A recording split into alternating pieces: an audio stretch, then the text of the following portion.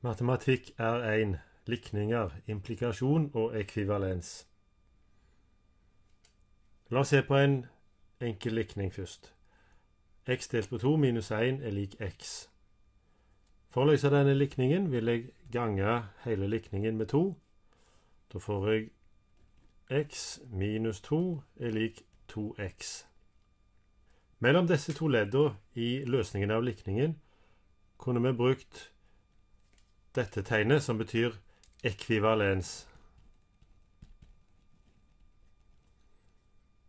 Det vil si at denne likningen har akkurat de samme løsningene som likningen opp forbi. Alle verdier x, som er en løsning av denne likningen, vil òg oppfylle denne likningen, og omvendt. For ordens skyld kan vi godt gjøre likningen ferdig. Jeg får her eh, x er lik minus 2. Og her vil det være ekvivalens.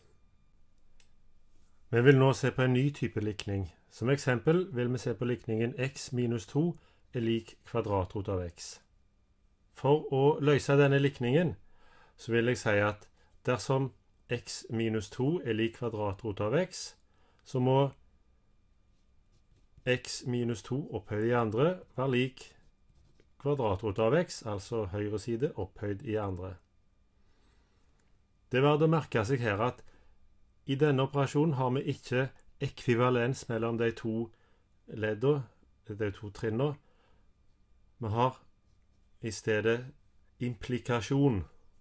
Implikasjon kan leses som medfører. Dersom x minus 2 er lik kvadratrot av x, så må x minus 2 i andre var lik kvadratrot av x opphøyd i andre. Vi bruker andre kvadratsetning på venstre side her, og får x i andre minus 4x pluss 4 er lik kvadratrot av x opphøyd i andre, som er lik x. Vi samler alle leddene på venstre side og får en ordinær annengradslikning. x i annen minus 5x pluss 4 er lik 0. Jeg bruker formelen for andregradslikninger og løser likningen. Det viser seg at vi får x er lik 1 eller x er lik 4. Jeg vil nå sette prøve på den løsningen jeg har funnet. La oss først sjekke løsningen x er lik 1. Å sette prøve på likningen vil si å teste om den løsningen jeg har funnet, oppfyller den opprinnelige likningen. Vi sammenligner venstre side og høyre side. På venstre side så får jeg x minus 2, som nå blir 1 minus 2, som er lik minus 1.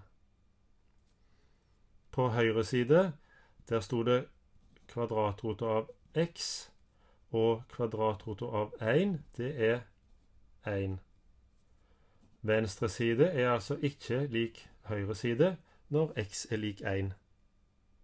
Så sjekker vi den andre løsningen. x er lik 4. Venstre side er nok en gang x minus 2, og nå blir det 4 minus 2, som er lik 2.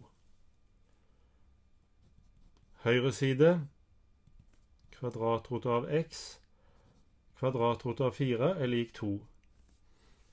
Venstre side ble her lik høyre side. Da kan vi si at løsningen av likningen er x er lik 4.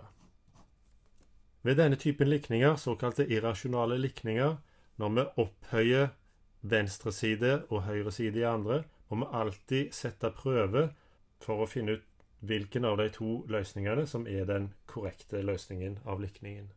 Vi vil se litt nærmere på hva er det egentlig som skjer her. La oss si vi starter med et enkelt utsagn. X er lik 3. Det medfører, eller impliserer, at x i andre må være lik 9. Dersom x er lik 3, må x i andre være lik 9. Men hvis vi nå oppfatter dette som en likning, x i andre er lik 9, så vet vi jo at den likningen har to løsninger. x er lik minus 3, eller x er lik 3. For både minus 3 opphøyd i andre er lik 9, og 3 opphøyd i andre er lik 9. Vi ser altså at vi har fått en ekstra løsning, en falsk løsning, som ikke stemmer med den opprinnelige likningen. Og Det er derfor vi alltid må sette prøve på likningen når vi opphøyer i andre på begge sider.